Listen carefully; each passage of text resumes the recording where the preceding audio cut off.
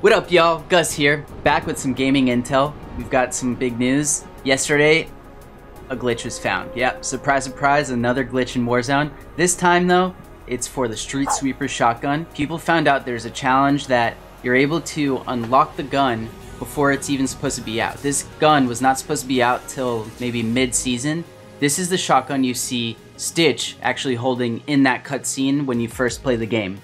So to unlock the Street Sweeper shotgun, the challenge is you have to get 3 kills in 15 games without dying, and this is only in Warzone or Plunder. So what I've seen online is people have been jumping into Plunder, getting 3 kills and just leaving the game. This actually works. And once you unlock the shotgun, you'll see it in your Warzone loadout page, and you can also see it in your Cold War multiplayer and you can bring that in right into your loadout. There is a bug within the bug that may cause you to not see that gun in your Warzone loadout. If that does happen, what you have to do is go into your store and purchase the Jawbreaker uh, blueprint. Once you purchase that blueprint, there it is, Street Sweeper Shotgun appears right in your loadout page for Warzone. So yeah, this shotgun could be the next annoying shotgun you must face. It's one of those things where if you can't beat them, join them. So I'd rather get this gun unlocked and ready to go before everyone else does. Or once it becomes part of the meta, I'll have it done already. So yeah, jump into Warzone Plunder and get it done. I think it's worth it.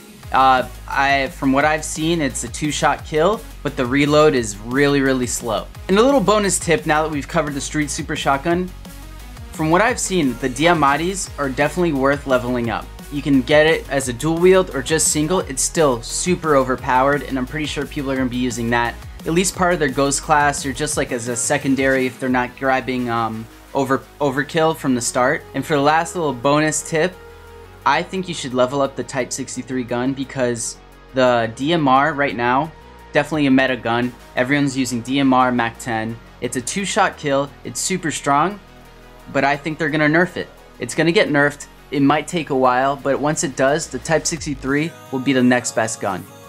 Give it a shot. Let me know what you guys think. So there you have it. We've covered how to unlock the Street Sweeper gun, whether it's bugged or not. Definitely worth getting, and it may go away, but once again, it's going to be a really strong shotgun.